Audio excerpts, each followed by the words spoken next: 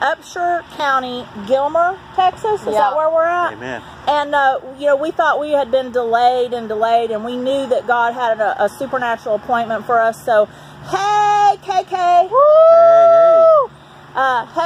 KK's in the house. She's been in there praying, wondering what we were doing out here. So we told her we were praying, and then Bishop Charlie just spoke over her that she had a prayer request. We prophesied over her. Sheridan uh, made sure that she had her hand on the staff of authority. We've all got our staffs with us. Hello, but we came today. Uh, if you can see behind us, um, to speak that Jesus Christ is Lord. Lord